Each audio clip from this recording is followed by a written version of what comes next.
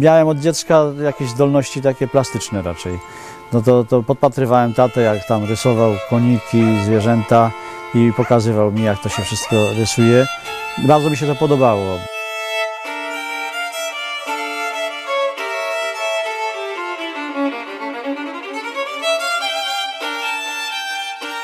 Zdzisław, e, mam takie wrażenie, że nie, nie maluje przypadkowych tematów. E, Te jego tematy sakralne e, są bardzo ciekawie pokazane. E, Pomimo tego, że ta e, prostota rysunku dominuje w tym e, i, i prosta kolorystyka, to jednak te obrazy mają ducha. E, To czarne tło, e, które Jerzy Nowosielski określił jako tłem tajem- tajemniczym, e, powoduje, że te obrazy e, mają w sobie taki wydźwięk właśnie pewnej tajemniczości.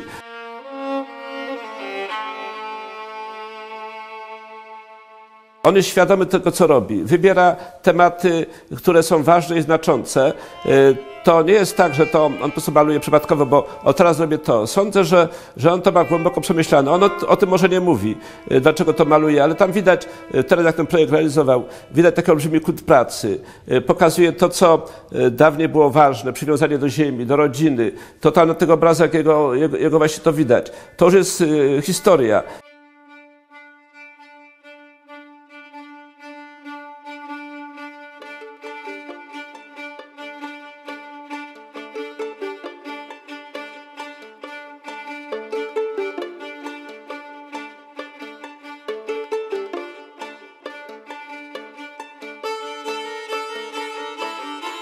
Jak w szkole potem był Staszek Trybała, to on był starszy o 5 lat ode mnie, no to robił, na korytarzu wisiały jego gazetki, takie ręcznie robione rysunki.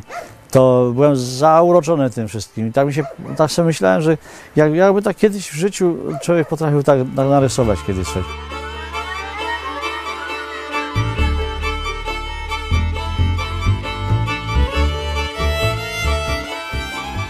Myślę, że Zdzisław Słonina y, jakby y, przeniósł piętno swojej twórczości na te, na te wszystkie swoje obrazy. One są tak bardzo charakterystyczne, rozpoznawalne, że on nie musi podpisywać. To widać, że to jest Słonina. Duże plamy barwne, prosty rysunek, y, takie po, po, pozytywne spojrzenie na, na świat, na życie i to jest właśnie takie podstawowe cechy Zdzisława w, te, w, tej, w tej jego twórczości. No i ta otwartość właśnie na, na temat, to jest, to jest takie bardzo piękne, bo to wskazuje na to, że, że potrafi zrealizować każdy temat, bo maluje nie tylko ręką, ale sercem. Y, czu- To, co maluje, to czuje i to jest właśnie takie bardzo ważne.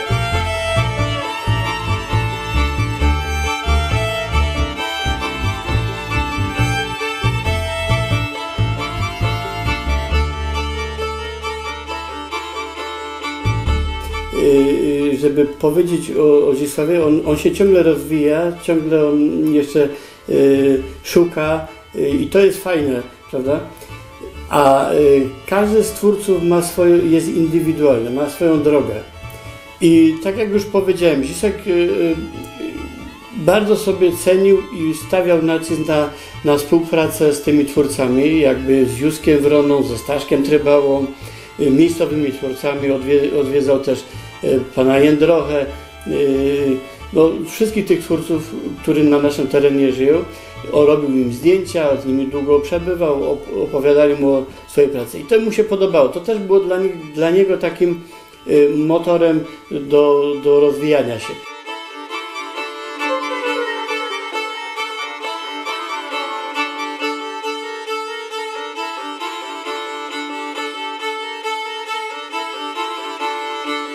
Jak byliśmy jeszcze w podstawówce, nie? jak byliśmy młodzi, to chodziliśmy do Józka Słoniny, tak podpatrywać go tam z Andrzejem, z kuzynem, taki bo Bogdan z Oświęcimia, który przyjeżdżał na wakacje, no to przesiadywaliśmy tam godzinami u niego.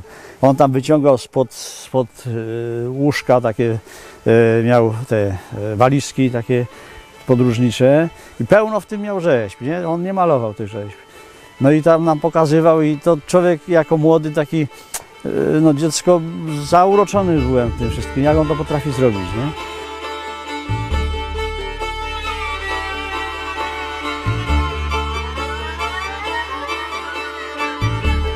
ta przyjaźń narodziła się chyba w tym momencie, jak Zdzisław y, kiedyś do mnie przyjechał i mówi, że, że ma problem, bo lekarz mu zabronił rzeźbić, bo ma pro- problemy z sercem. No i co on ma robić? Ja mówię, no Zdzisław, zacznij malować na szkle. Y, No i on wtedy mówi, no to jest dobry pomysł i spróbuję. I sądzę, że konsultował się też w tej sprawie ze swoimi koleżankami, malarkami na szkle z Zakopanego, tak przypuszczam, tu mam na, na, na myśli Bogucką czy Walczakową. E, No i zaczął malować na tym szkle. I myślę, że, że podszedł do tego malowania tak bardzo profesjonalnie, bo e, pierwsze zaczął e, kupować e, książki na ten temat, e, dużo czytać, oglądać e, i później zaczął malować. E, Widać sporą różnicę od tych pierwszych obrazków e, po dzisiejsze, e, ale wydaje mi się, że, że to jego malowanie jest takie bardzo charaktery- charakterystyczne, bo uchwycił to sedno tego malowania na szkle. Jego rysunki są proste, ale czytelne bardzo. Jego ornamentyka jest bogata, ale nie zabija jakby głównego tematu. Maluje farbami prostostuby, nie stosuje jakichś e, nowych barw. To są właśnie wszystko cechy takiego dawnego, dobrego malarstwa na szkle. E, I myślę, że to malowanie to, to było jak strzał w dziesiątkę.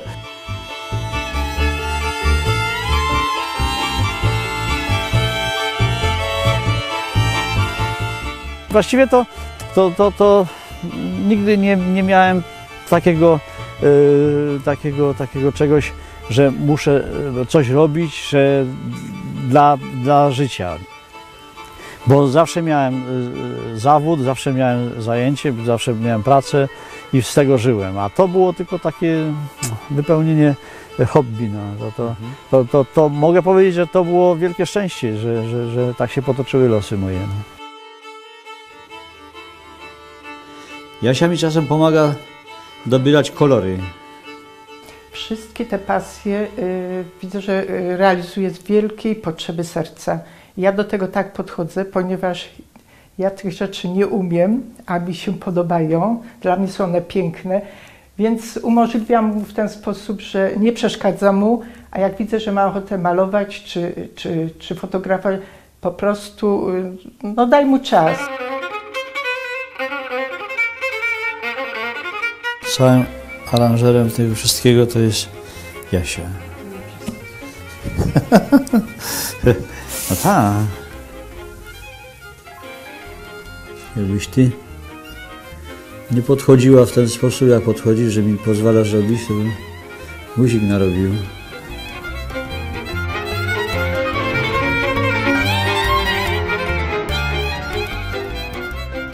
1999 roku zacząłem e, pracę w samorządzie świątnickim. E, No i wtedy pana dyrektora, no, e, dziś Usłonina był dy- dyrektorem, takim kultowym dyrektorem, legendarnym można powiedzieć w gminie Świątniki Górne. Właśnie zajmował się kulturą przez długi, długi okres. No więc taka bliższa współpraca zaczęła się właśnie w Świątnikach Górnych na przełomie wieku XX i XXI.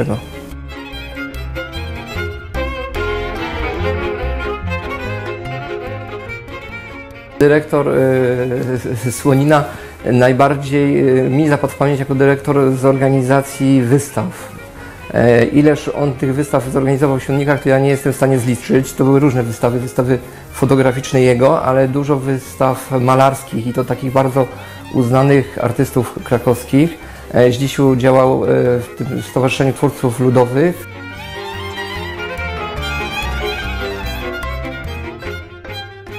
Zajmował się tam wszystkim od A do Z, bo to był mały ośrodek kultury w Świątnikach, więc e, Zdzisiu był tam wszystkim.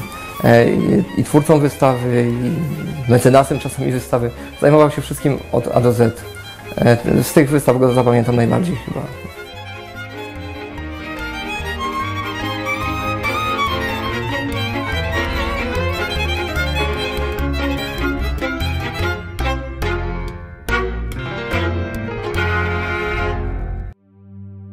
Ja myślę, że, że Zdzisław jest e, e, artystą, e, który jest niezwykle konsekwentny w tym, co robi, zarówno w rzeźbie, jak i w malarstwie na szkle. Nie podlega jakimś modom, jakimś takim zachciankom czy, czy wskazówkom osób postronnych. Cały czas jest sobą i ma ukształtowaną pozycję jako, jako malarz i jako rzeźbiarz. Sądzę, że, że mało jest takich artystów, e, którzy e, powiedzmy w, w jakiś sposób e, tkwią w, te, w tej takiej rzeźbie e, twórczości archaicznej.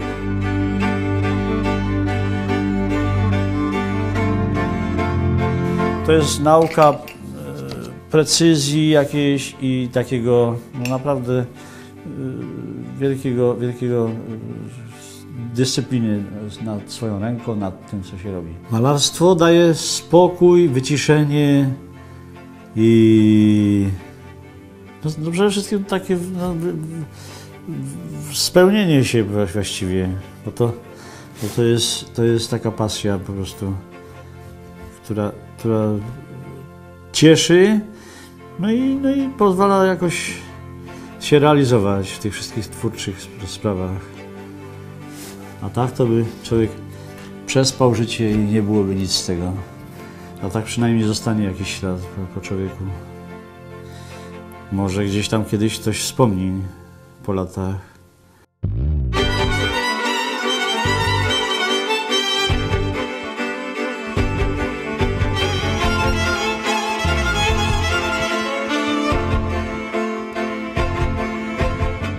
Zdzisław jeszcze nas może w wielu rzeczach e, zaskoczyć e, swoją twórczością i w tym momencie bym e,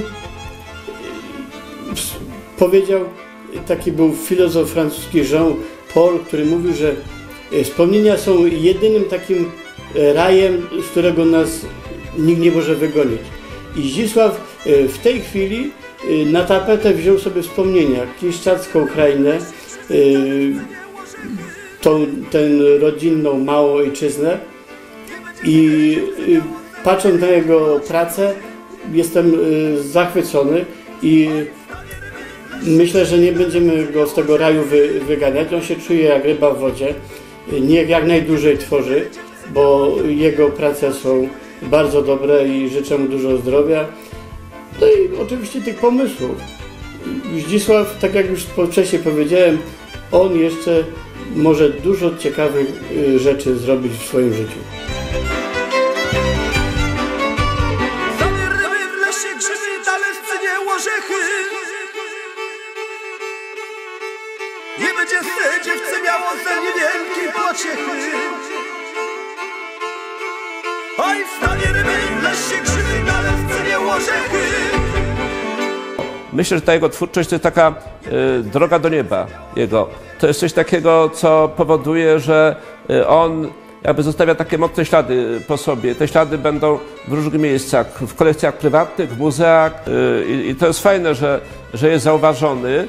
On też stara się osobiście jakby pomóc temu szczęściu, bo sam inspiruje te wystawy i tak dalej, ale myślę, że to jest jedyny sposób przetrwania w tej chwili. Nie można si- siedzieć cicho w kącie i czekać, aż się znajdą, bo, bo nie znajdą. No, najbardziej prestiżowym miejscem, gdzie miał cztery wystawy, to były w Muzeum Archidiecezjalnym w Krakowie. Wiem, że to y, bardzo my doceniali, że miał możliwość tam y, pokazania swojej twórczości, bo y, otwierali tę wystawę najpierw y, kardynał Macharski, potem y, kardynał Dziwisz, y, także no, było to z wielkim takim rozmachem. Chór śpiewał, kapela z Mogilan, o- jeżeli chodzi o oprawę. Y, Także mąż to widziałam bardzo przeżywał. Było dużo, dużo gości, dużo było przyjaciół, którzy byli na tych wystawach. Ja nie znam drugiego artysty, y, który by zrealizował tak, y, tak wiele tematów. Y, Myślę, że tutaj Zdzisław jest, jest jakimś takim no, wiodący, wiodącym twórcą. Mm, Myślę, że, że każdy, każdy odbiera go inaczej, ale w tych konkursach, w których bierze udział, gdzie miałem okazję być w jury, to wszyscy zwracają na, uwagę na jego, na jego pracę.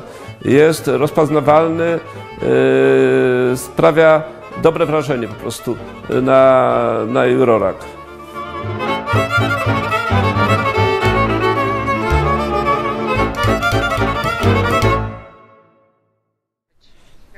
Bardzo dobrze, bardzo dobrze. Słońce, chmury i ten. I górale dookoła. Wszyscy, rozumiesz, na nartach, na snowboardach i na wszystkim. Nie, ale, ale nie, są tutaj turyści jacyś, jeszcze siedzą pod kapliczką i się opalają. No. Tu jest lepsze słońce, bo jest wyżej trochę. Chociaż widoczność jest słaba, no ale. No, no to na razie, no pa. No pa.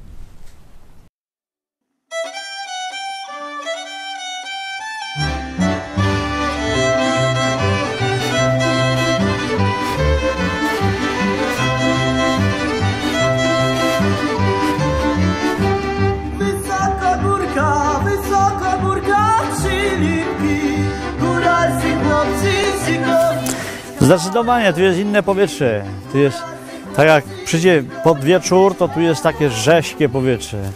Od tego lasu, od tego wszystkiego, od tych pól, od tego, od tych traw, od tego ziół i tak dalej.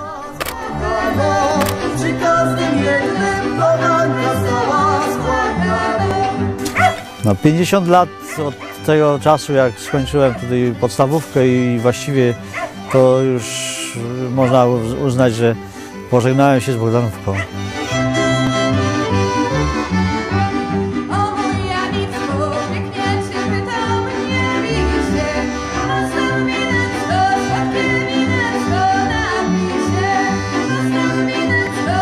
No a tata w e, młodości, ja pamiętam, to trudnił się stolarstwem. I tutaj w tym domu, tutaj w, w takiej izdebce miał stolarnię i robił różne rzeczy dla nas, jakieś koniki też takie do zabawy. Pierwsze wyjścia do, do szkoły tata mnie odprowadzał przez las. Ja się bałem tutaj, żeby dziki jakieś nie napadły na mnie. Nieraz przyjeżdżali tutaj cały tabunem, e, co roku przyjeżdżali na tydzień, dwa e, cyganie. W lecie no to zajęciem takim dla dzieci to było pasienie krów, a w międzyczasie były zbio- zbiory borówek, się chodziło na borówki. Potem się do skupu sprzedawało i były jakieś pieniądze w wakacje potem na, na zeszyty, na książki, na takie rzeczy.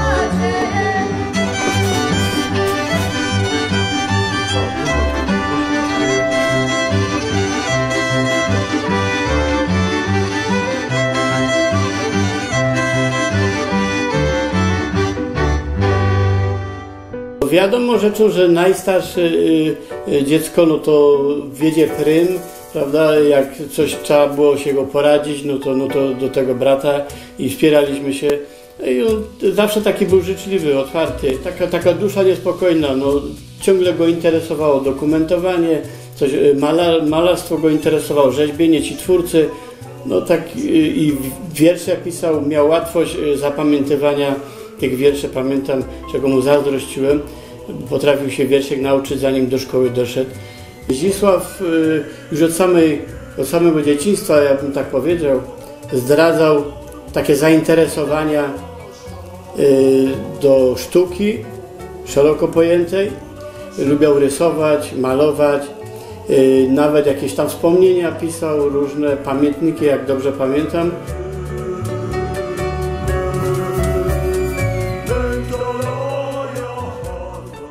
Ale się okazuje, że marzenia jakoś po latach się, teraz widzę z perspektywy lat już swoich, no spełniają się, tylko trzeba wiedzieć i, i, i inaczej się, mo, trzeba, trzeba mieć marzenia, no, trzeba mieć marzenia, żeby je realizować i trzeba mieć szczęście też, no. Trzeba jakoś po cichu Pana, Boga prosić, żeby dał zrealizować to, co się człowiek jakoś tam marzy o takich artystycznych, życiowych powiedzmy, no wiadomo, że najpierw to trzeba, yy, najpierw to jest sprawa rodziny powiedzmy, zawodu, no, yy, wyboru żony, no, gdzie, się, gdzie się człowiek osiedli, to jest, to są takie yy, decydujące w życiu etapy, na które człowiek jakoś, nie wiem, to wydaje się, że, że to jest jakoś zrządzenie losu i po prostu wszystko jest jakoś zaplanowane, tylko trzeba po prostu pro, prosić Boga, żeby,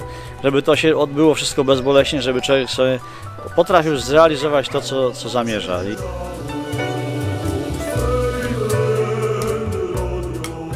Jakoś widziałam na przyszłość jakieś wielkie oparcie i bezpieczeństwo w nim. I to głównie, poza tym był y, aktywny, bo myśmy się w szkole poznali, więc y, tam już się dał poznać jako y, dobry uczeń, dobry organizator, aktywny, bo i w internacie dużo już malował, już śpiewał, już organizował. Y, I no wszystko jakoś w całość y, bardzo na mnie w całości podziałało. Także widziałam dobry materiał kiedyś na męża. No i, no i tak się stało.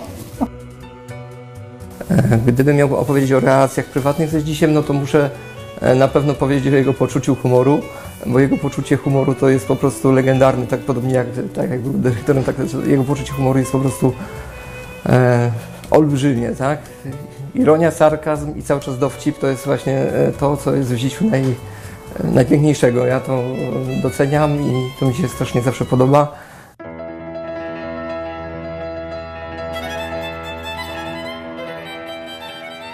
Jak można było na, na jakieś takie 2-3 dni wyjechać, no to starałem się raczej nie siedzieć w domu, tylko zawsze brałem aparat i wio w góry, na Koskową Górę i na ten.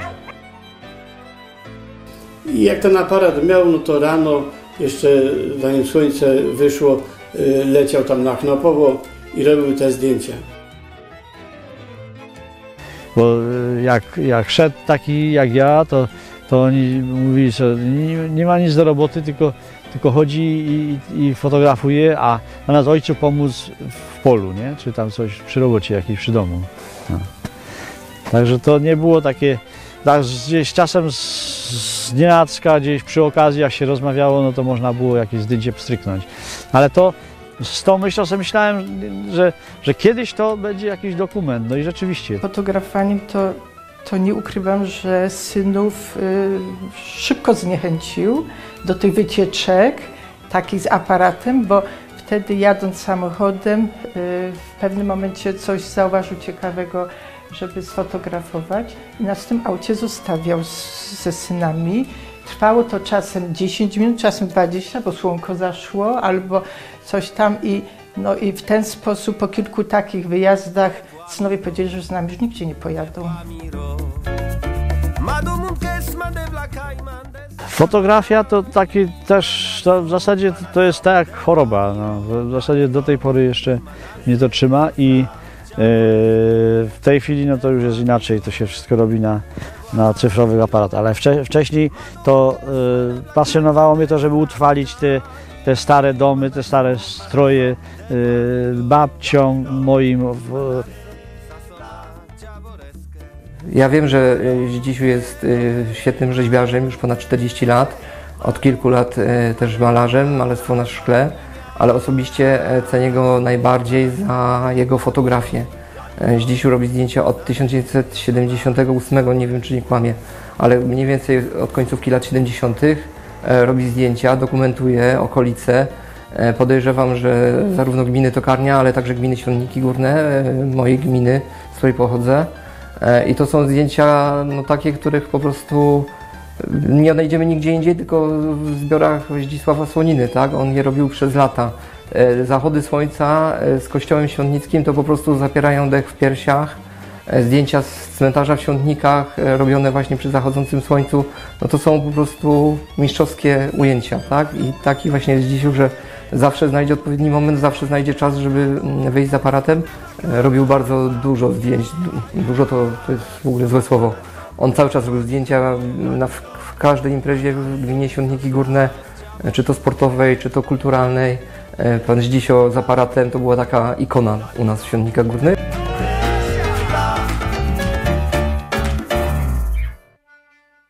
Teraz z perspektywy czasu, wieku już to widzę, że to wszystko, co czasem człowiek by się buntował, wydawałoby się, że to bez sensu, a to jednak miało sens. Także w życiu jest jakieś przeznaczenie i uważam, że każdy ma jakieś pole do, do, do, do działania i swoje y, miejsce na, na ziemi, żeby się zrealizować. Tylko trzeba umieć znaleźć to. No. To jest właśnie takie bardzo ważne. Nie jest nastawiony na jakieś e, zarobki, e, nie jest e, na- nastawiony na jakieś zaszczyty, które by miały spaść na niego z tego powodu, że jest artystą, tylko jest skromnym twórcą, który realizuje swoje cele, swoje zadania i myślę, że wiele osób e, powinno z wziąć z niego przykład. Szczególnie właśnie z tej idei, idei przekazywania e, tych wartości ponadczasowych, które w jego obrazach można znaleźć.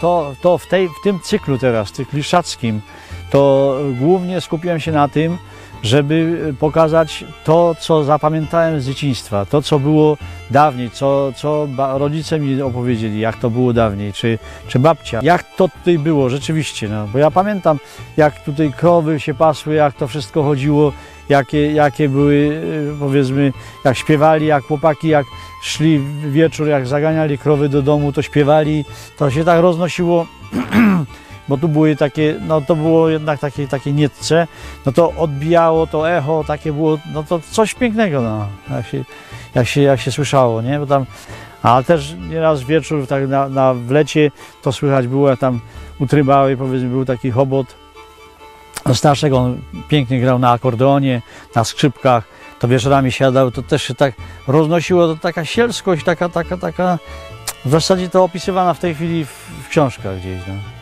A to jednak człowiek e, zachował w pamięci i tak jakbym to dzisiaj słyszał, chociaż to już jest prawie ponad 50 lat, jak to upłynęło, no. Tych ludzi już nie ma i, i tych wszystkich takich zwyczajów też nie ma już. I myślę, że gdyby więcej artystów e, ludowych, nazwijmy, e, to podchodziło w ten sposób do swojej sztuki, a nie komercyjnie, to ta sztuka byłaby ciekawsza i bardziej wartościowa.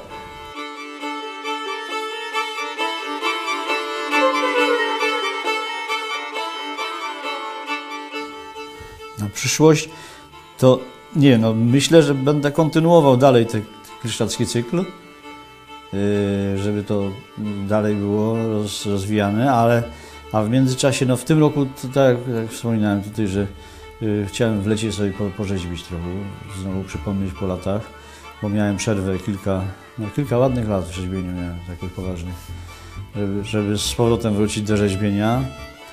No nie wiem, czy jak mi się to uda, ale myślę, że, że, te, że czy będzie coś z tego powinno wyjść. A potem no te, ten czas jesienno-zimowy to jest super taki do, do, do, do takiego malowania, bo to się wypełnia ten, ten czas. A poza tym to jest ten komfort mam, że nie mam nad sobą już nic takiego, żebym musiał robić. Ja robię sobie to dla przyjemności. To, co lubię i co, co sobie wymyślę, to, to jest to jest, to jest spełnienie marzeń, marzeń życiowych. No.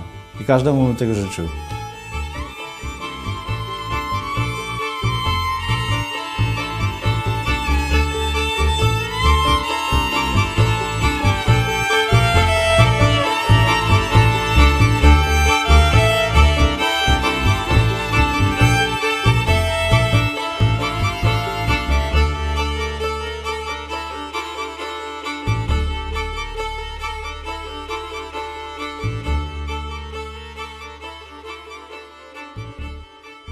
Tak naprawdę nie ta sztuka przepiękna, chociaż przecież tworzy pięknie, no ale to chodzi o te ogórki i o te, e, jak się to mówi, no, no, będę musiał powtórzyć, ale e, jak, jak się mówi na ten... Nie, na to, co dzi- dzisiaj na wystawach zawsze jest. Nie, a nie chleb z, z Ze smalcem, no smalec, smalczyk po prostu. Ja jeżdżę tylko po ten smalczyk, tak, tak naprawdę.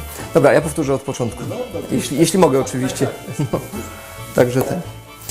E, staram się nie opuszczać w ogóle wystaw e, dzisiaj. E, jak tylko wiem, że jest gdzieś wystawa.